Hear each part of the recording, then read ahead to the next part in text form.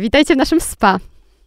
E, czyli super przyjemnej audycji. Jesteśmy z wami jak zwykle my, czyli Kamila Wagner i Agnieszka Zygmunt. E, miło was nie słyszeć. Witajcie w ósmym odcinku SPA. Jest to ostatni odcinek pierwszej serii. E, naszego podcastu. Mam nadzieję, że e, bawiliście się i dalej będziecie się z nami bawić tak dobrze, jak i my tutaj w studio. Wydaje mi się, że to też jest najodpowiedniejszy czas e, na to, żeby tę serię polecać innym osobom o, i no dzielić koniecznie. się z nią. Szczególnie, że przed nami taki czas no wakacyjny, czyli gdzieś tam czas odpoczynku i zadbania o siebie, więc chyba dobry moment, żeby zacząć. No sprzyja nam pogoda i, i długi dzień, i ciepło, i kwitnące wszędzie, pachnące rośliny, e, o czym e, też dzisiaj trochę będzie. Więc jeśli e, macie ochotę, to, to zachęcamy Was, żeby ten podcast polecać dalej. E, bo od tego zależy nasza przyszłość. Będzie coraz lepiej, obiecujemy. I nie tylko nasza. Wydaje mi się, że też może trochę e, przyszłość naszych e, słuchaczy od tego zależy, taka przynajmniej codzienna, przyjemnościowa przyszłość. Tak, przede wszystkim myślę, że nasz dobrostan trochę, mm, trochę od tego zależy. Jeśli zrobimy chociaż jakiś 1% czy jeden mały krok w stronę jakiegoś osie, osię dbania, to już jesteśmy wygrani. No to wykorzystam tą okazję i zapytam ciebie, Agnieszko, tak w ramach podsumowania e, tego, no w sumie tej przygody takiej e, kilkumiesięcznej, czy, e, czy podczas nagrywania tej audycji ty jakoś wdrożyłaś którąś z omawianych tutaj praktyk w swoje życie? Jakoś czujesz, czujesz poprawę jakości życia? Przede Odkąd wszystkim zajmujemy się wellnessem? Przede wszystkim myślę, że zajmujemy się wellnessem dlatego, że przez e, długi czas, zanim zaczęłyśmy nagrywać podcast, praktykowałyśmy e, te rzeczy jakoś e, przy okazji, mimochodem, bo miałyśmy taką okazję, bo ktoś nas zaprosił na e, niezwykłe doświadczenie, tudzież experience, e, jak lubimy Przyjmujemy mówić, takie oferty. E, jak lubimy mówić w naszej, w, naszej na nasz, w naszym poletku, więc mamy, jesteśmy uprzywilejowane od tyle, że gdzieś ten dostęp do tych wszystkich dziwnych, bo nie oszukujmy się, nie zawsze poruszałyśmy tutaj tematy, z którymi e, spotyka się większość e, osób. E, mamy okazję gdzieś tam przetestować. Też obie jesteśmy, myślę, bardzo otwarte mm, na to. Nie mamy w sobie takiego poczucia cringe'u, mm, że, że coś jest jakieś dziwne, albo że jest za bardzo szamańskie, albo kto, co, co będzie to o nas świadczyło. Także ja ze swojej strony mogę powiedzieć, że E, na pewno planuję, mm, i to będzie tu spoiler dzisiejszego odcinka, e, w te wakacje w końcu zrobić odkładany od e, trzech lat remont łazienki i zaopatrzyć się w wannę. I wtedy odpowiedź na twoje pytanie będzie brzmiała tak, będę wdrażać bardzo intensywnie to, o czym e, mówimy i o czym dzisiaj powiemy w tym odcinku. Wow, a czym będziesz wynajmować może swoją wannę? Przemyślę. E, no to co? E, słyszę, że ty nie chcesz mnie e, zapytać, jak tam z moim wellnessem. No jak tam z twoim wellnessem, Nie, już zanurkujmy w tej wannie, no już to jest okazja. Dlaczego w niej wspominasz? Coś cię tak naszło. Dzisiaj e, będziemy mówić o ziołach. Mm. Najkrócej mówiąc. Najkrócej mówiąc. E, przydałoby nam się tutaj dzisiaj zaparzyć e, dwa jakieś w studio. E, mi to chyba na uspokojenie, wyciszenie, a Kamili na Wręcz pobudzenie. Na przetrwanie. Na przetrwanie, więc jeśli znacie jakieś super mieszanki ziół na przetrwanie, to dajcie znać, ale być może dowiemy się o nich też dzisiaj w trakcie, e, w trakcie naszej audycji, e, bo tematem trzeciego, aha, super, bo tematem ósmego odcinka SPA jest zioło lecznictwo i szeroko pojęta moc ziół.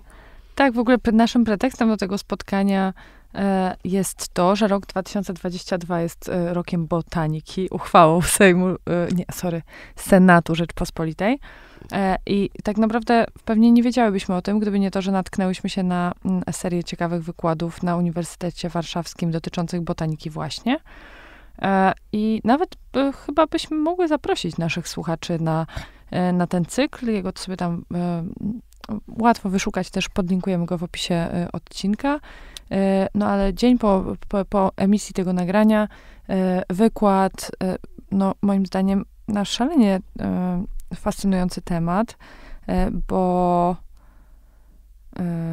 wykład profesora Stanisława Gawrońskiego o fitoremediacji, czyli o tym, jak, e, no jak naprawiać naturę naturą de facto, roślinami. E, I może my się przejdziemy, co? Tak, e, słuchajcie, to jest jutro, jeśli słuchacie naszego odcinka, czyli w poniedziałek. Uuu, zawiłe. Uwaga, premie, ten, ten wykład jest 20 czerwca. 20 czerwca i on jest, można zapisać na niego online, prawda? Tak, jestem prawie przekonana, że tak jest. I że można go wysłuchać także, także online. Tak. E, no i tak, ale przed nami też, e, o czym ja w ogóle jakoś nie pomyślałam, bo ja jeszcze jestem myślami w maju, chociaż to już czerwiec, że przed nami noc kupały. Noc kupały. Przed chwilą e, mieliśmy zielone świątki. E, jeszcze przed nami e, Matki Boskiej Zielnej. Więc tych e, momentów, gdy święcimy E, uświęcamy zioła, rośliny, które mają różne właściwości, różne moce.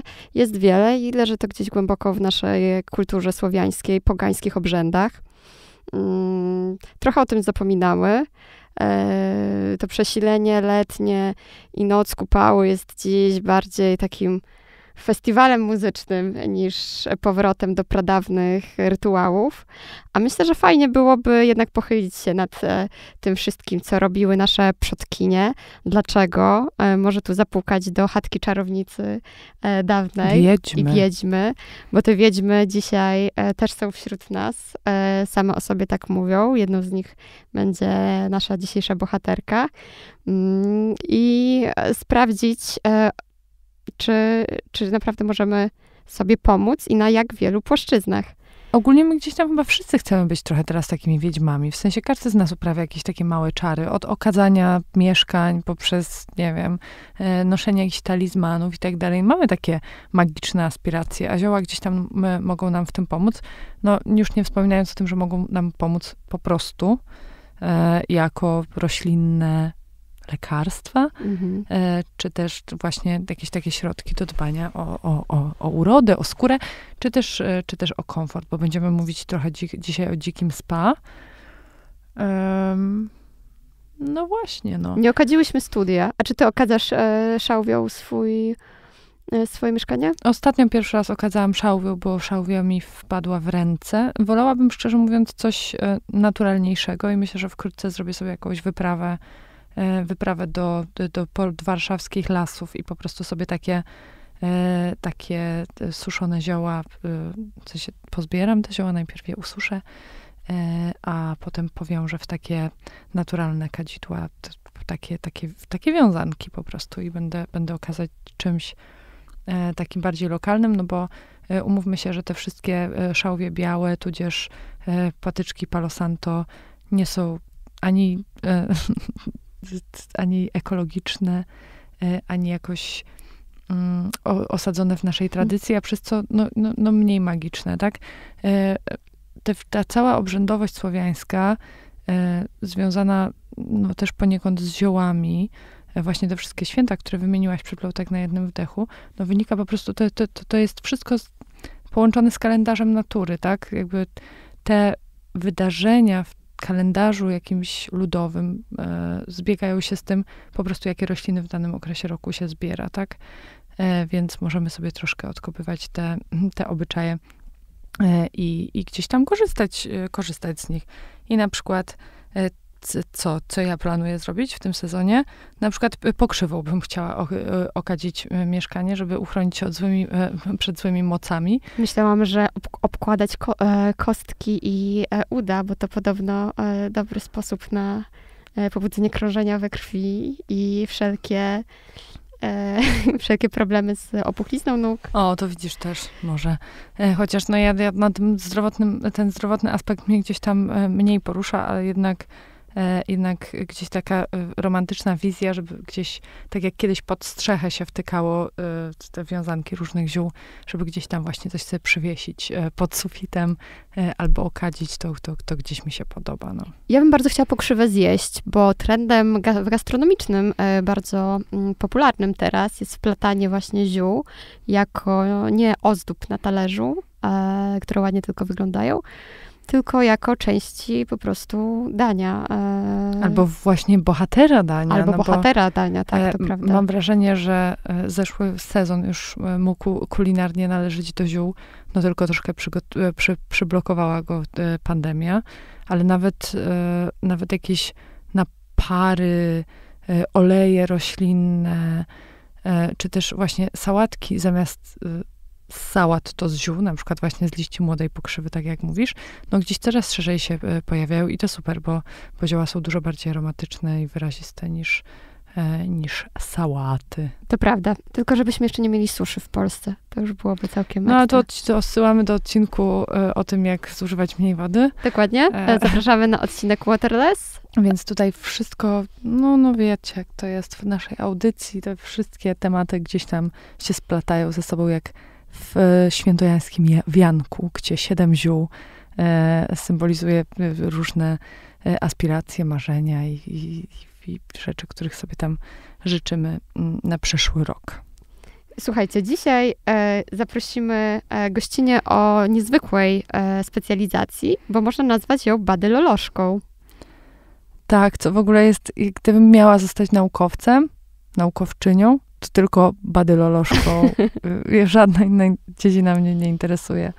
E, Będzie z nami też e, Sylwia Kawalerowicz, autorka książki, e, autorka książki Mod Ziół, która przepytała zielarki z całej Polski, wygrzebała z jakichś tam najbardziej oddalonych od cywilizacji zakątków, jak na przykład Pogórze Przemyskie, czyli moje e, rodzinne strony, e, i wyciągnęła od nich przepisy, więc zapytamy ją e, za momencik. No zresztą tu słyszycie za momencik, o co zapytamy. A badylolożką wspomnianą wcześniej będzie Anna Zajdel, aka Czeremcha. W naszym studiu Sylwia Kawalerowicz. Dzień dobry, cześć. Dzień dobry. Czy możesz nam proszę powiedzieć, skąd pomysł e, o tym, żeby kolejnym tematem po Dolnym Śląsku, którym się zajmowałaś wcześniej, e, były pola, łąki i to, co znajduje się w słoikach, szafkach i wszystkich innych magicznych miejscach zielarek? Więc ta historia ma dwa początki. Ja w ogóle jestem osobą, która e, zawsze żyła dosyć blisko przyrody, jeździłam pod namiot i generalnie byłam blisko roślin i tak lubiłam przebywać w przyrodzie. Natomiast e, kiedy urodziły się moje dzieci, e, nagle okazało się, że muszę zacząć odpowiadać na bardzo konkretne pytania dotyczące tego, na przykład, co rośnie na trawniku pod blokiem. A co to jest, jak się nazywa ten kwiatek. No i chcąc odpowiedzieć, pokazać, że mamusia wszystko wie, musiałam, e, zaczęłam, e, no tak, szukać, sprawdzać, co to jest ta właśnie ta roślinka inna. Wpisywałam na przykład roślinka, która ma listki jak serduszka. I wychodziło, że to jest tasznik na przykład. E, I w ten sposób zaczęłam trochę poznawać rośliny. I jakoś tak zaprzyjaźniać się z tym środowiskiem. Ale to był jakby pierwszy, jeden początek. Drugi początek jest ściśle związany e, z bardzo sugestywnym obrazem wypełnionej e, ziołami, roślinami wanny, którą zobaczyłam na Instagramie. Ja wiem, Czyli że tak, jednak jednak tak. I to było tak, że to właśnie ta wanna w, w takim otoczeniu e, zieloności, w niej jakaś goła dziewczyna. I tak sobie że to jest taki strasznie fajny obraz, e, który mnie bardzo zaciekawił. Znaczy, co to jest, dlaczego ta wanna jest w środku lasu, e, dlaczego ktoś moczy się po prostu w jakichś krzakach. I, bardzo, I oczywiście to było też połączone z, z, z tym, że, że to jest bardzo przyjemne. Jakiś to był taki bardzo, mm, komentarz też był taki, że to jest fajna sprawa. I zaczęłam po prostu sobie to e, poszukiwać informacji na ten temat. To się oczywiście zaczyna, tam się klika to od jednej do drugiej, to buduje jakiś taki obraz. Nagle zobaczyłam, że to, że to jest jakiś, em, jakiś świat bardzo kobiecy, bardzo właśnie będący takim bardzo fajnym wyrazem kobiecości, blisko natury. A, mm, no i te zioła gdzieś pojawiły się w międzyczasie. Mnie tak naprawdę w pierwszej kolejności dużo bardziej zainteresowały kobiety, dziewczyny, które się, mm, które stoją za tymi często ładnymi obrazkami na Instagramie i czym się zajmują. I zatem się okazało, że stoi właśnie bardzo duża wiedza i, i bardzo ciekawe osoby.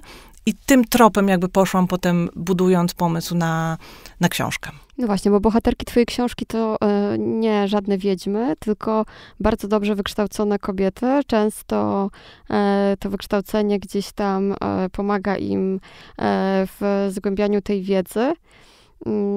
Bo o ile dobrze pamiętam, jedną z bohater- jedna z bohaterek jest doktorem nauk z biologii. Tak, tak. Znaczy wszystkie dziewczyny mają albo pokończone, e, większość, e, albo pokończone studia kierunkowe, e, albo kończyły różne y, kursy, w, w, w, różnym, w, różny jest charakter tej edukacji, ale wszystko to jest po prostu wiedza taka, nazwijmy ją akademicka, dotycząca po prostu tego, jak działają na nasze ciało i w ogóle jakie procesy chemiczne zachodzą w roślinach i, i co się z czym tam y, łączy od bardzo naukowej strony. Mm, natomiast tak, no to są, ja wybrałam też w pewien sposób y, moje bohaterki, tak, że mm, to są osoby młode, które wydaje mi się zaprzeczają takim stereotypom właśnie zielarek, o których my myślimy. Szamańskim. Szamańskim. Aczkolwiek to są kobiety, które jednak um, te, ta, ta, te rośliny, ta, ta, to zielarstwo łączy się dla nich z jakimś, jakąś formą, dla niektórych przynajmniej duchowości. To nie jest e, um, takie po prostu parzenie ziółek. Mm, jest to dużo bliższy kontakt z przyrodą i z naturą. Ale to nie jest takie. Mi zielarstwo jednak kojarzyło się kurczę z ojcem Klimuszko, któremu oczywiście niczego nie odejmujemy. Niemniej jednak, no wiecie, no to jest boli mnie wątroba, boli mnie żołądek, to, to teraz e, co w takim razie, jakie zioła muszę sobie zaaplikować. Okazało się, że ten świat jest po prostu dużo bogatszy. Nie to, że, że nie jest inny, tylko po prostu tych oblicz zielarstwa może być bardzo dużo. I ja sobie wybrałam jakiś taki wycinek, który właśnie dla mnie łączył się z jakąś taką, jakimś specyficznym obrazem kobiecości, e, siostrzeństwa też, jakiejś takiej więzi, które, dla których, że to zielarstwo tworzy dla, dla tych kobiet jakiś taki, mm, taką, takie coś, co je łączy i może połączyć na przykład. No tak też e, twoje bohaterki e, mają z tymi ziołami bardzo głębokie e, relacje. W sensie one nie szukają w nich tylko sposobu na poradzenie sobie z jakimś problemem, tylko one po prostu z tymi ziołami żyją, e, uprawiają je, szukają ich, rozmawiają z nimi. E, Dla mnie to jest trochę jakby kwintesencja zielarstwa właśnie. Przez to ono jest dosyć trudne, tak jak ja sobie to wyobrażam i jak ja jakby rozmawiając po tych rozmowach, które, które mam e, za sobą, mm, to jest o tyle trudne właśnie, żeby wejść w to tak po prostu, bo jednak wydaje mi się, że pełnię tego jakby efektu, który mogą zioła spowodować, jednak e, mamy, kiedy łączymy to z przebywaniem w naturze, w, nie wiem, w zajmowaniu się ziołami na przykład. Um, nie wiem, czy tak jest, bo na, po prostu mają takie działanie, no rzeczywiście praktyczne. Można sobie właśnie zaparzyć, regularnie pić i coś nam się poprawi. E, natomiast ten jakby w pełni... E, e, takiego zielarskiego doświadczenia chyba właśnie wtedy, wtedy się można odczuć, jeżeli, e, jeżeli tymi ziołami jest, mamy trochę inno, inno, inną tą relację, tak właśnie zbieramy, chodzimy po tym lesie, uczymy się tych ziół, e, macamy, rozrywamy, wąchamy i tak dalej. To jest... obserwujemy, jak one się zmieniają tak, to też jest, w rytmie mhm. roku. No ale to też nie jest tak, że trzeba już być tą e, gdzieś tam w, w ziemiance żyjącą e, leśną zielarką, żeby do tego świata wejść. No bo powiedzmy, że w twojej książce są przepisy tak, e. to jest ten taki bardzo praktyczny aspekt tego, co, e, co się też znajduje w książce. Chciałam to połączyć, to znaczy te portrety um, bardzo dla mnie i myślę, że dla niektórych czytelników też inspirujące po prostu, pokazujące jakiś sposób życia, są bardzo praktyczne porady, jak zrobić sobie maść z żywokostu albo herbatkę e, na, nie wiem, coś tam, na przykład tonik, który poprawi cerę wokół oczu. Więc e, tak, to są bardzo praktyczne e, przepisy. i można je również e, spokojnie realizować, bo też miałam taki, taki pomysł, żeby tak to działało, e, idąc do sklepu zielarskiego i kupując sobie po prostu konkretne produkty. To nam nie trzeba oczywiście iść i tego e, tataraku w tym błocku z rękami po łokcie e, wyciągać, aczkolwiek pewnie jest to bardzo przyjemne. No tak, można zacząć jakimiś małymi krokami. Oczywiście, na przykład od tak. na włoci na e, wspomnianą przez ciebie kąpiel, którą można sobie urządzić no, e, nie tylko w dzikim spa, do którego zaraz zresztą się wybierzemy, e, ale też e, w, blok, w blokowiskowej e, wannie. Tak, to prawda. Właśnie e, też to e, Ania pewnie zaraz nam powie, bedylologia, która, e, która jest tu z nami, e, że tak naprawdę taką k- dziko, e, dziką kąpiel spokojnie można sobie też zrobić w mieszkaniu w bloku, tylko trzeba uważać, żeby nam te wszystkie farfocle nie, nie zatkały odpływu, ale tak, to jest zupełnie e, możliwe i jak najbardziej do zrealizowania. Tak, właśnie rozmawiałyśmy z Kamilą przed nagraniem em, na temat kąpieli w wannie e, mojej przyszłej, bo planuję e, remont. I rozmawiałyśmy o tym, że w przypadku bloku mieszkania i wanny po prostu podpiętej do miejskiej kanalizacji, e, lepiej zrobić e, wywar w jakimś e, innym naczyniu, w dużym dzbanku i po prostu już samą tą esencję wlać e, do, do wanny i ją rozrobić z wodą, co myślę, że odbiera e, 90% e, przyjemności tej wizualnej, ale też takiej tego poczucia obcowania z naturą. To, co ciebie skusiło do napisania i w ogóle do zagłębienia się w tym temacie, to właśnie to, to, to wejście w to zielsko, e, jak sama powiedziałaś, mi się kojarzy z takimi naturalnymi kąpielami w jeziorze, kiedy kiedyś się, nie wiem, wskakiwało nago do jeziora porośniętego Bóg wie Tak, czym. trzeba było wejść przez taki zapadający się Dokładnie. muł po, po kostki. Mhm. i gdzieś się te rośliny tam dotykały, to też nie jest znane nam uczucie tak naprawdę. I myślę, że nawet nie dla wszystkich przyjemne zanurzyć się w takiej, w takiej zupie z, z roślin, więc mm, fajnie, że można zrobić sobie w Tak. bloku e, wersję e, ekstrakcyjną, tu bym powiedziała, ale ja bym jednak wolała e, wszystko wrzucić. E, No zawsze można łowić. A potem łowić. No, No, jest też taka, jest też taka fajna opcja z y, zawinięciem tych, tych wszystkich y, fusów w woreczek, zawinięcie, w, za, zawiązanie, wrzucić sobie jeszcze do wanny i on sobie tam pływa. No takie uwięzione będą te zioła, ale To już półśrodek, e, który mi pasuje. Super. Ekstra. E, W jakiej, e, e, w jakiej roli jeszcze występują w twojej książce te zioła? Bo na przykład poruszasz wątek kulinarny też. tak, to był, tak prawdę powiedziawszy, dla mnie chyba na teraz najciekawszy, dlatego że no ja jestem takim powoli wchodzę w ten, w ten świat i się uczę różnych rzeczy. E, I to jest taki najbardziej e, chyba mm, najłatwiejszy w takim codziennym byciu z ziołami właśnie, wątek kulinarny, bo nam się te zioła w kuchni kojarzą dosyć jednoznacznie, prawda? Mamy bazylię, mamy oregano. em, a- Bardzo lokalne. tak, nasze, akurat, no tak, akurat oregano gdzieś tam można sobie złapać. Ale mm, rzeczywiście jest tak, że nie zastanawiamy się nad tym, e, co e, z tego, co dziko rośnie, możemy zużytkować, zjeść sobie. My na przykład bardzo teraz e, razem z rodziną szukaliśmy żółciaka siarkowego, takiego grzyba, który rośnie na drzewach, jest chubą, ale który smakuje po przyrządzeniu go mm, na patelni, jak faktycznie przypomina mięso kurczaka, jest nazywany leśnym kurczakiem. To ten po, potrawkę z nim zrobiły dla mnie Mad Ladies, które też są bohaterkami książki. Przygotowały mi taki lunch właśnie z różnych y, dzikich produktów, nazwijmy to, czy roślin.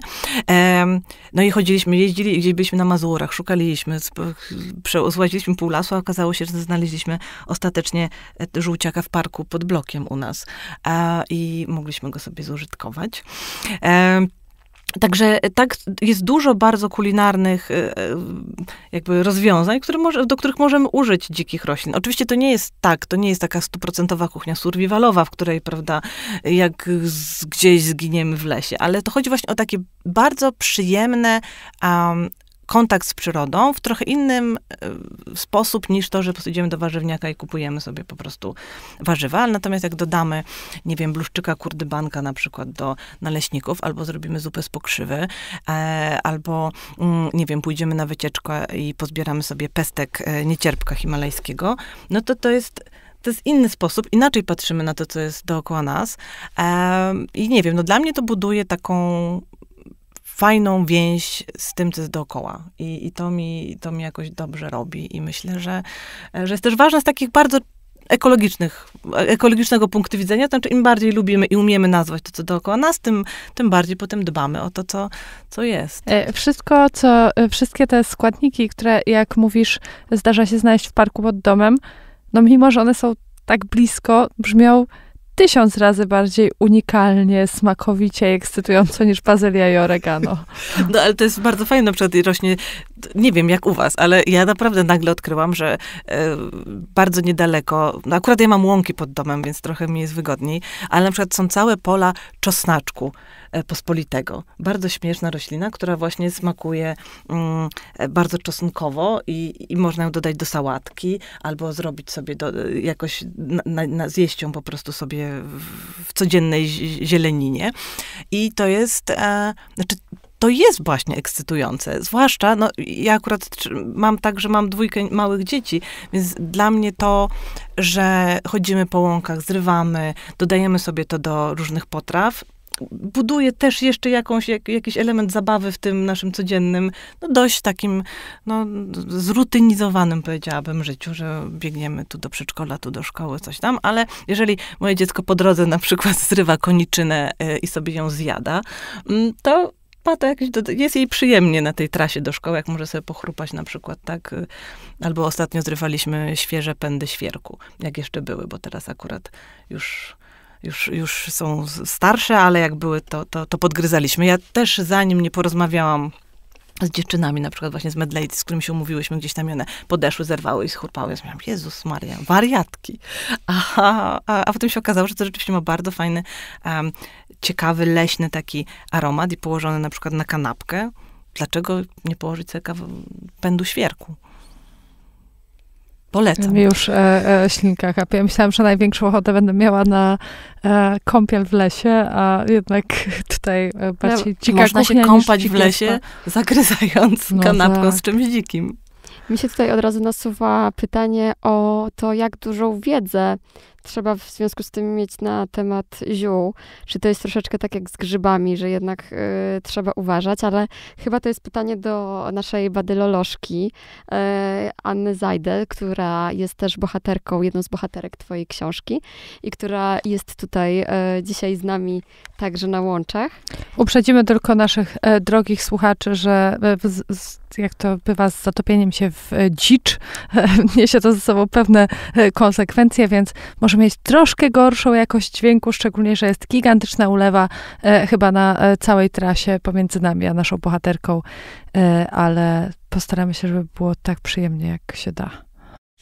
Aniu, chciałabym, żebyś się przedstawiła, chociaż w książce jesteś już tak przedstawiona, że twoje CV jest tak imponujące, że mogłabym je tutaj przeczytać jednym tchem i tego tchu by mi chyba zabrakło, ale e, spróbuję przynajmniej początek. E, z nami Anna, Anna Zajdel, e, also known as Czeremcha oraz na Instagramie jako Badylologia. E, humanistka i aktywistka, edukatorka artystyczna, autorka tekstów, wokalistka punkowych zespołów Elbanda i Santa Irena, twórczynia zi, twórczyni zwinów i feministycznych makatek. E, chyba to mnie zaciekawiło najbardziej, ale o tym dzisiaj nie będziemy e, rozmawiać. Ja takiego bio życzę wszystkim naszym słuchaczom. Ja sobie życzę. tak. I słuchaczkom, tak, tak. To, to, to, to CV jest, e, to przeczytałam dwie linijki z ośmiu, ale myślę, że tutaj się zatrzymamy i jeśli Ania będzie chciała coś dopowiedzieć od siebie, to bardzo proszę. No tak, dlatego, że ja się w ogóle nie będę skupiać na tych dwóch pierwszych linijkach, e, zwłaszcza, że w zespołach już nie śpiewam, bo e, już gdzieś chyba taki okres minął, przeszedł i już teraz się zajmuję zupełnie innymi rzeczami, to znaczy nie znajduję po prostu czasu na wszystko, a skupiam się na jednak na roślinach i na tym, co one robią niosą i jak ja mogę tę wiedzę dalej przekazywać w sposób dostępny dla innych i przyjemny dla mnie. Yy, więc głównie się tym teraz zajmuję. Bardzo mi się podobało, jak pani na początku powiedziała, że jestem badylolożką. Nikt jeszcze tak mnie nie nazwał i to jest wspaniałe. Od tej pory będę się tak przedstawiać. Więc Sylwia, jeśli kiedyś będziesz robić wznowienie książki, trzeba napisać tam badylolożka. My zazdrościmy tutaj, jak naprawdę. E, ten wstęp, ten wstęp był w ogóle tak długi, że gdzieś uciekło mi pytanie, które zostało zadane na początku e, e, tak. o, rośliny, o rośliny. Tak. I, Więc poproszę o powtórzenie.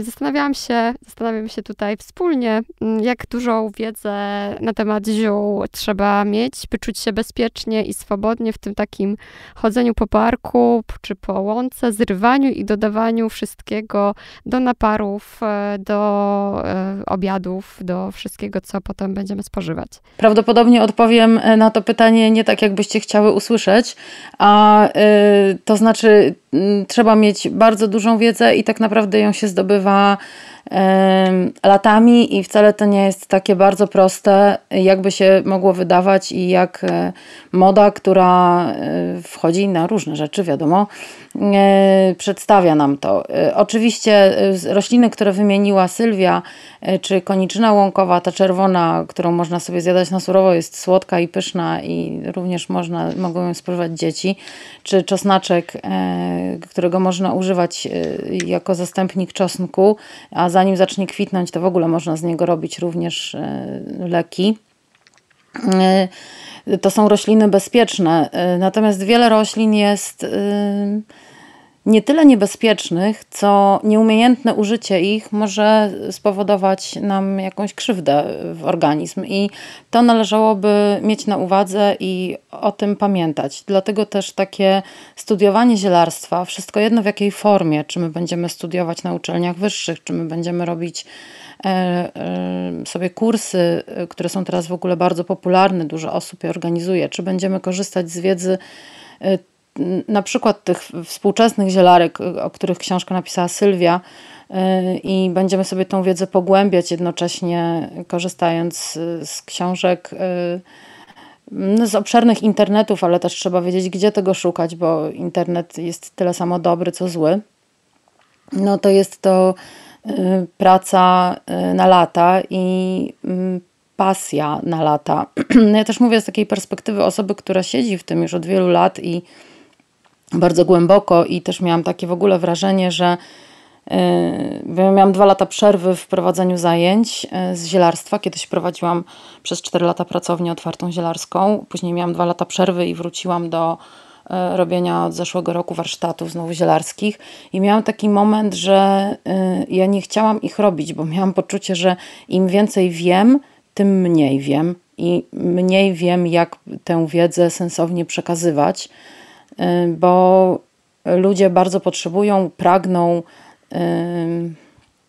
mieć, wiedzieć szybko i mieć, bo w takim świecie też żyjemy, który nam daje i w związku z tym my mamy takie oczekiwanie, że nam to załatwi jakąś sprawę.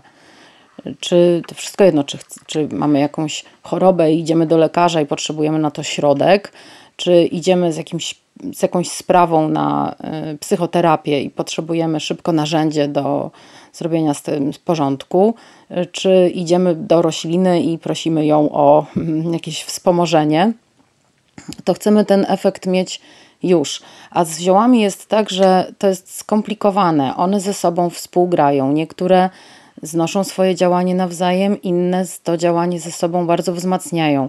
Dobrze jest wiedzieć, jak łączyć rośliny, jeżeli chcemy, y, żeby one nam towarzyszyły w życiu. Jeżeli chcemy rozpoznać sobie kilka ziół i stosować je w kuchni albo na skórę, bo już wiemy, że na przykład nasza skóra jest naczynkowa i będzie na to super pomagały, będą kwiaty kasztanowca czy owoce kasztanowca, czyli popularne kasztany to możemy sobie robić z, nim, z nich jakieś wyciągi, czy mm, herbata pokrzywowa, czyli napar z pokrzywy do płukania włosów, bo nam to będzie wzmacniać, to możemy tak na tym zakończyć, czy po prostu, nie wiem, raz w miesiącu rozpoznawać nową roślinę i próbować ją włączać do naszego życia. No ale to i tak jest nauka i zdobywanie wiedzy przez lata, bo później właśnie okazuje się, że jednak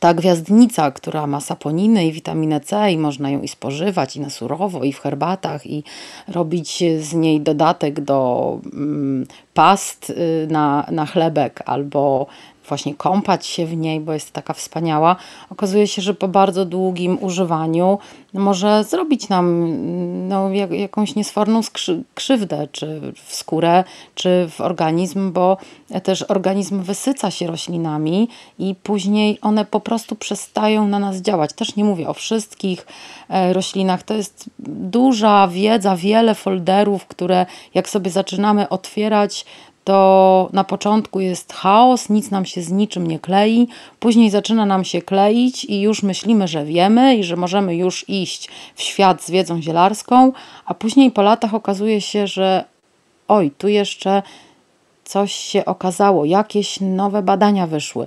One potwierdziły albo zdementowały badania, które były wcześniej, czy wiedzę ludową, która była wcześniej.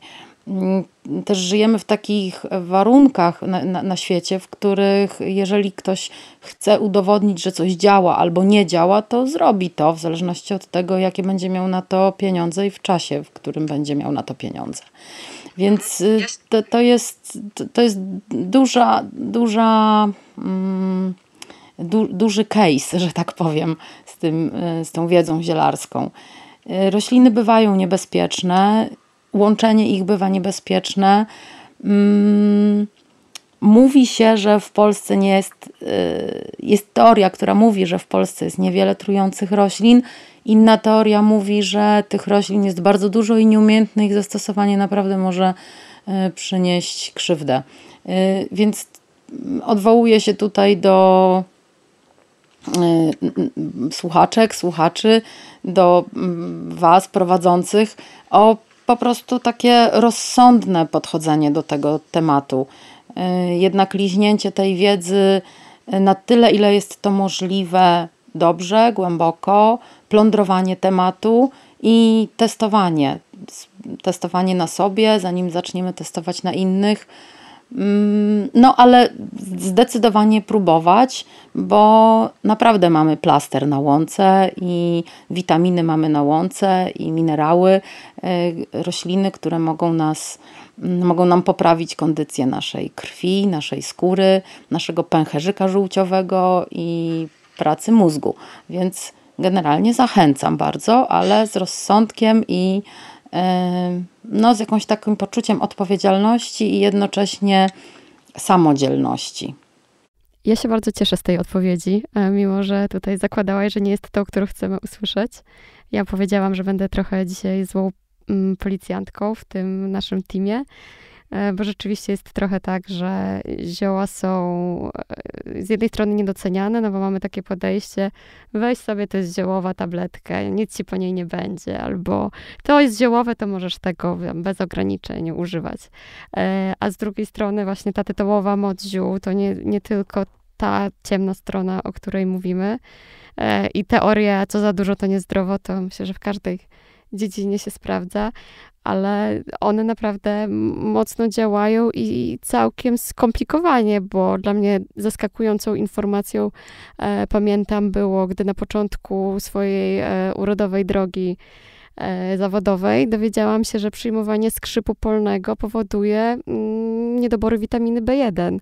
Jeśli łykamy bez opamiętania na piękne paznokcie i piękne włosy piękną skórę, ten skrzyp polny w jakiejś ilości 6 tabletek dziennie przez pół roku, a nie suplementujemy witaminy B, no jest to trochę bez sensu tak naprawdę. Znaczy w ogóle, jeśli chodzi o skrzyp, to łykanie go jest bez sensu. Bo skrzyp, żeby, żeby on miał, miał, miał ręce i nogi, że tak powiem, e, czyli żeby zadziałał skutecznie na te włosy i na te paznokcie, to musi być to e, ziele, które jest e, albo świeże, albo dobrze wysuszone i nie może być dłużej przechowywane niż rok, bo traci swoje właściwości i musi być długo gotowany. To jest minimum pół godziny, żeby taki skrzyp pogotować i dopiero taki napar wypić albo moczy, moczyć w nim pazur. Natomiast łykanie tabletek ze skrzypem z, mo z, mojej wiedzy i z mojego doświadczenia wynika, że jest bez sensu. No właśnie, czyli zgłębiamy jakiś temat bez dna. Rzeczywiście, im więcej będziemy o nim wiedzieć, tym mniej będziemy o nim wiedzieć. Tak, dokładnie, bo też jest tak, że e, my suplementujemy różne rzeczy i e, nagle te suplementy pojawiają nam się jako coś takiego, że musimy to wziąć, a jak to weźmiemy i to nam wypłucze, to w takim razie weźmiemy co innego, tak jak przed chwilą tutaj padło, że ta witamina B, B1, czy w ogóle różne rośliny też potrafią wypłukiwać mm, witaminy z różnych grup. E, ale jeżeli jakby odejdziemy od tego myślenia o suplementowaniu i w ogóle te suplementy zrzucimy gdzieś na bok i zwrócimy się w stronę natury i będziemy sezonowe rośliny rozpoznawać, pobierać y, w takich kuracjach, powiedzmy tydzień, dwa, trzy tygodnie, to my sobie dostarczymy w ciągu wiosny, lata, jesieni i zimy bardzo dużo potrzebnych składników i okaże się, że i nasze wyniki badań będą lepsze i suplementacja nie będzie potrzebna. Ale to wszystko jest na drodze rozpoznania swojego organizmu, a każdy organizm jest inny i każdy potrzebuje indywidualnego podejścia. No dobrze, a powiedz, jak to zrobić szybko? Oczywiście. w sensie, e, załóżmy, że my, nasi słuchacze, nie chcą się jakoś super uleczyć tymi ziołami, ale chcą z nich skorzystać tak doraźnie dla poprawienia nastroju czy samopoczucia. Co byś zalecała takiego bezpiecznego, ale też no, kojąco przyjemnego? Czopki na odporność. Kąpiele. Kąpiele, y, y, przyrodolecznictwo poprzez kąpiele wydaje mi się bardzo bezpiecznym, a jednocześnie skutecznym e, środkiem do takiego, e, bo tutaj padło ukojenie i uspokojenie, no to zdecydowanie, bo kiedy się, kiedy pobieramy kąpiele, to mm, zakładam, że nie wszyscy wchodzą do wanny z komórką i sprawdzają social media, bo to nie ma w ogóle no, zupełnie sensu wtedy, kiedy mamy, kiedy mamy jakąś kąpiel sobie taką resetującą zrobić. Y, to ja czasami tam gdzieś w tekstach różnych pisałam, że weź sobie najwyżej książkę i sobie mm, zresetuj się z książką, ale to też nie, bo tak naprawdę naj, najlepiej byłoby, gdyby sobie po prostu zamknąć oczy i poleżeć w tej wodzie i dać się te, tej wodzie, w, którą, w której już te rośliny oddały, w którą te rośliny oddały swoją moc, poleżeć i mm, tak pobyć trochę tu i teraz. Ja wiem, że to jest bardzo trudne i jednocześnie dosyć modne, e, żeby być tu i teraz, i różne są techniki nawet na to, żeby być tu i teraz, ale to wystarczy sobie tak chwilę, te 5, 10, 15 minut po prostu sobie tak poleżeć i y, ze świadomością, że przez mm, skórę będzie, będą wnikać te substancje, y, które będą nas uspokajać, będą wpływać na stan naszej skóry, na kondycję naszego organizmu, bo możemy zrobić sobie kąpiel z ziołami, które będą wpływać nawet na mm, jakieś choroby trzewi y, albo właśnie na układ krążenia i ze świadomością, że przez naszą skórę wnika to wszystko, no to jakby łapiemy ten moment ukojenia i uspokojenia. I rozpoznanie roślin do takich ziołowych kąpieli nie jest bardzo trudne. Jest już w tej chwili e, w internetach dosyć sporo informacji na ten temat. Nie dużo, nie ma jakichś specjalnych stron poświęconych temu tematowi. Może taka powstanie, trochę jestem na, w, w przededniu, że tak powiem, zbudowania czegoś takiego, bo jest duże zapotrzebowanie i taką czuję trochę misję też, bo e, jakoś tak z, mm, te kilka lat temu, jak zaczęłam wstawiać te zdjęcia z wanną i zaczęłam szerzyć te y, ziołowe kąpiele, y, to było to wtedy jakąś przygodą i czymś dodatkowym do, do, do w ogóle ziołolecznictwa i mojej drogi zielarskiej, a y, przez modę właśnie, która na to nad, nadchodzi, y, mam takie poczucie obowiązku, że y, to potrzebuję też sprostowań czasami, bo to nie jest wcale tak, że pójdziemy, narwiemy sobie cokolwiek, wrzucimy i będziemy mieć super kąpiel ziołową. Dobrze byłoby wiedzieć jednak, jak te rośliny połączyć, żeby tam były i śluzowe rośliny, i krzemionkowe, i saponinowe, żeby to miało sens dla skóry, dla ciała, dla organizmu, dla wyciszenia go, dla ukojenia czy dla poprawienia kondycji skóry. Czyli jakiś zestaw wziąłbyś polecała na taką pierwszą kąpiel? I może jakoś tak, że można powiedzmy zebrać to w okolicach 60 kilometrów wokół Warszawy. No bo przed e, kąpielą w ziołach można sobie zrobić po prostu kąpiel leśną. Oczywiście. Tak, można, oczywiście. No to, to ja myślę, że mogę powiedzieć teraz o roślinach, które są rozpoznawalne dla większości z, e, z nas. E, mam nadzieję przynajmniej taką. E, I rośliny teraz, które występują, to są na przykład kwiaty bzu czarnego i liście babki, lekarskiej, czyli tej szerokolistnej tak zwanej, takie duże, one czasami znajdujemy w wysokiej trawie, to możemy znaleźć je nawet takie wielkości dłoni. E, e, I do tego możemy dorzucić sobie na przykład liście brzozy albo liście czeremchy. Mm, e, to rozpoznawalne rośliny póki co, tak? Mówię tak, o tak, czymś, co... Tak, tak. Nawet łatwe do wyłowienia. Tak, tak. E, I na przykład jeszcze haber, bławatek będzie taką rośliną, która fajnie zrobi dla skóry. E, no i taki zestaw możemy sobie, i tam mamy już zagospodarowane te wszystkie wcześniej rzeczy, o których powiedziałam, takie dziwne słowa jak saponiny, śluzy, e, krzemionka.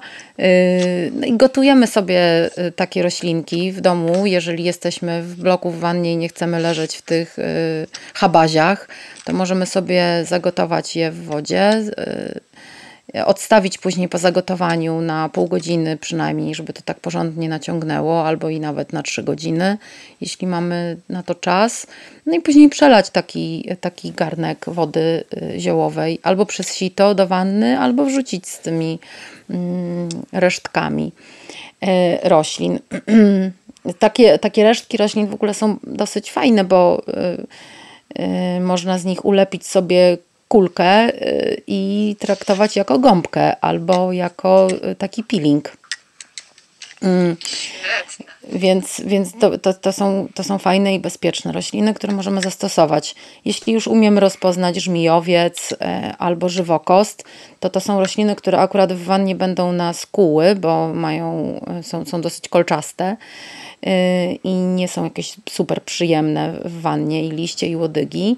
Mm, bo ja mówię o całej roślinie teraz, czy żywokost, czy żmijowiec, czy ogórecznik, one są z tej samej rodziny i mają takich dużo bardzo fajnych właściwości e, kojących i leczących na skórę, na stany zapalne i z nich możemy sobie też ugotować taką zupę. Ona będzie ciemnieć pod wpływem czasu i temperatury i później taka woda robi się szara, a nawet czarnawa, jeżeli jest dużo tego towaru. Mm, natomiast jest też znakomita absolutnie i y, okres letni jest super na zbieranie roślin i robienie, przygotowywanie suszy do tego, żeby robić sobie miksy na zimę później. Yy, także polecam bardzo. Będzie wkrótce kwitła mydlnica lekarska. Można ścinać roślinę z kwiatami. Najwięcej dobra i saponin mają e, kłącza, które się zbiera jesienią, ale e, teraz te kwiaty też są i ładnie pachną i ładnie wyglądają i są łatwe w rozpoznaniu, e, więc można sobie nazbierać, wysuszyć i stosować też do kąpieli. Gwiazdnica kwitnie teraz białymi kwiatuszkami. Ona jest też fajna. Komonica to jest takie, takie żółte kwiateczki. E, też dosyć yy, krótko latem jest ten okres taki teraz, on się zaczyna. Yy. A powiedziałaś, że można zrobić gąbkę i peeling, to jak jesteśmy już przy fitokosmetykach, to może jeszcze podpowiesz, e, co dla urody? Jakaś, Jakie rośliny dla urody? Tak, jakaś e, najlepsza maseczka rozświetlająca do twarzy. A to Nerwowy nie, nie wiem, czy tak potrafię powiedzieć, że ta będzie działać rozświetlająco, bo te rośliny, one po prostu działają naprawdę bardzo wielokierunkowo i ta, która będzie rozświetlać, będzie też działać przeciwtrądzikowo, na naczynka, czy może tak działać, tak? W sensie, że na, tak, taką rozświetlającą maseczką, maseczka w ogóle, maseczka to jest takie dziwne słowo, okład, kataplazma y, na twarz będzie na przykład z liści czeremki. Zdecydowanie lepsze słowo. E, kataplazmy to jest wspaniałe słowo. Y, I mm, można zrobić z liści czeremchy, albo jeżeli mamy jakąś czeremcha nam gdzieś rośnie niedaleko i ktoś zerwie gałązkę, jakiś łobuz, albo wiatr zrzuci, y, to można też okorować sobie nożykiem do marchewki. Taką gałązkę y, i liście i wygotować to y, albo zostawić y, przykryte wodą na y, kilka godzin, najlepiej na noc i takim maceratem wodnym się okładać. To będzie świetnie rozświetlać, a przy okazji odżywiać skórę i będzie działać faktycznie tutaj i na naczynkową, i na taką starzejącą się skórę, która nie lubi tego, że się starzeje i że się przesusza, ale na trądzikową też, więc czeremcha jest taką rośliną bardzo wielofunkcyjną dla urody.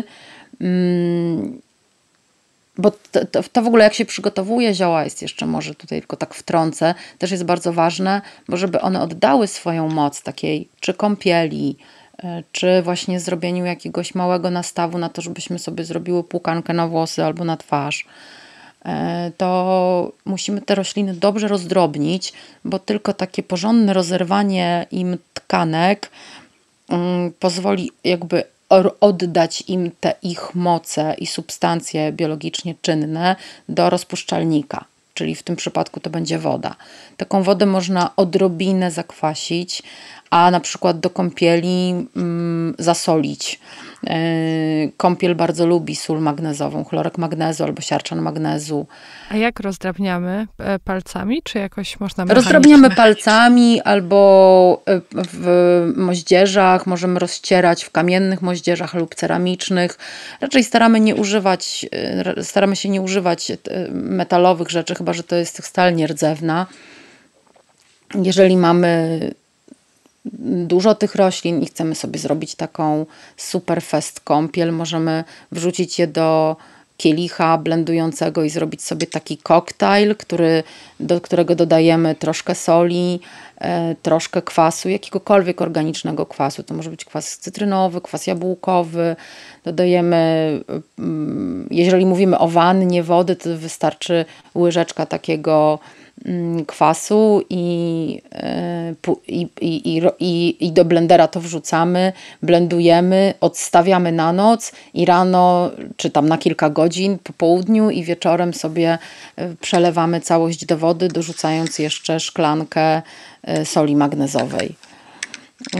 I wtedy w obecności tego kwasu, i tej soli ta woda dostanie całe dobrodziejstwo i to wszystko przejdzie nam przez skórę, bo tak jak y, mówię często i zresztą w książce Sylwia również to zawarła, nasza skóra to jest pełna takich otworów, które tylko czekają na to, co im damy. I naprawdę to, co my im dajemy i w ubraniach chemicznie farbowanych, i w tych y, proszkach do prania i płynach, to nam po prostu wchodzi w tą skórę, wsiąka, wsiąka w nas, w pory, w gruczoły łojowe, potowe.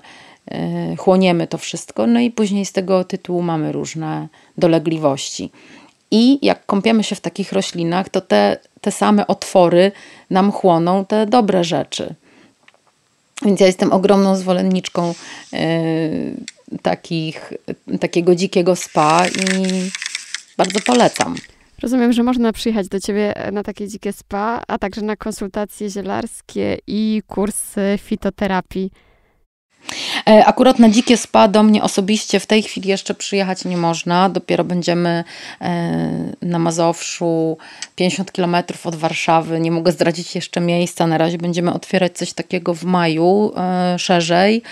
Natomiast w tej chwili to jednak jest prywatna, prywatne miejsce, prywatna wanna i no tam czasami ktoś tam wpada, jakaś koleżanka, koleżanki, koleżance yy, i jakoś tak poznajemy i te kręgi się rozszerzają. Mm, więc tak, od maja zapraszam.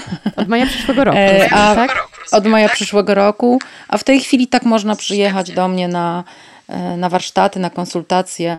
Zresztą pod koniec e, sierpnia będę robić takie warsztaty z dzikiego spa i zakupiłam trzy wanny. I ono, to będzie się działo na Suwalszczyźnie, w takim pięknym miejscu, w siedlisku Bitkowo więc, więc zapraszam. Zostawimy namiary dla naszych słuchaczy i słuchaczek, nie tylko na ciebie, ale też na twoje warsztaty. I myślę, że wszyscy, którzy dzisiaj poczuli się zainspirowani i poczuli, że moc ziół ich wzywa. E... No to przede wszystkim e, odsyłam na początek do książki, no bo e...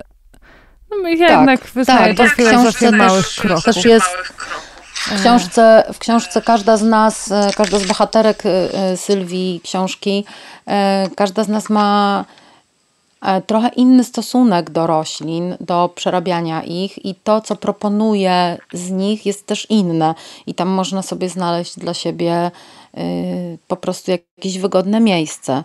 Czy, że to też... Mhm. No, czy, czy przy rucie z zioła w pełni, E, czy właśnie kulinarnie przy Medladies, albo Ani Pietruszy, która zresztą też, ona jest w rozdziale, e, w części książki o kulinariach, ale tak naprawdę Ania też się zajmuje fitokosmetyką e, i ma bardzo obszerną wiedzę na temat ziołolecznictwa, też takiego wewnętrznego, czy właśnie panny dziewanny, które robią kosmetyki, warsztaty kosmetyczne. Zresztą z Munką z panny dziewanny razem też prowadzimy y, i w zeszłym roku prowadziłyśmy i w tym roku w sierpniu również będziemy prowadziły takie fitokosmetyczne warsztaty u niej tam w Górach Sowich, więc też zapraszam. Także generalnie do książki mm, tak, ja też będę odsyłać, bo jest bardzo fajna i wcale nie tylko dlatego, że są tam różne super osoby, tylko jest masa treści o roślinach, bardzo przystępnie, y, krótko podane. Ja mogę tylko powiedzieć, że to jest, wydaje mi się, że jeżeli właśnie ktoś ma ochotę zacząć przygodę z zielarstwem, to dobrze jest, jeżeli poczyta, czy zapozna, pozna po prostu te dziewczyny, które zajmują się zielarstwem, bo też one pokazują często jak na przykład swoją drogę do tego, jak się zaczęły, jak to u nich wyglądało. Można sobie trochę bardziej to wyobrazić e, i mieć już jakieś takie poczucie, e, jakiś trochę szerszy obraz. E, oprócz tego, że po prostu mamy sobie jakiś tam przepis i wiemy, e, dokładnie możemy sobie coś wykonać. Natomiast jakby można też poznać po prostu to, co stoi za tym zielarstwem, jak to zielarstwo w takim codziennym, praktycznym wymiarze wygląda. Włamać się do e, Trochę tak, trochę zielarek. je popodglądać, zgadza to się. tak jak pójść do lasu. Albo jednak łatwiej sięgnąć po książkę e, czasami e, paradoksalnie, niż wejść e, na spacer do parku, nawet pod domem. E, Można iść na spacer z książką. O, no to, to, to chyba to zadanie e, na nas, dla nas na przyszłość, na naszą przerwę. Zdecydowanie. Też w ogóle ziołowe weekend przyszło mi do głowy i zielone, ziołowe, e, pokrzywowe. E, tak sobie pomyślałam, że Będziemy... fajnie jest się czymś poparzyć, powdychać, pozbierać, pobłądzić, złapać jakiegoś kleszcza i natargać sobie jakiś bukiet babki do wanny. Będziemy dawać wam znać na Instagramach, jak nam, jak nam idzie.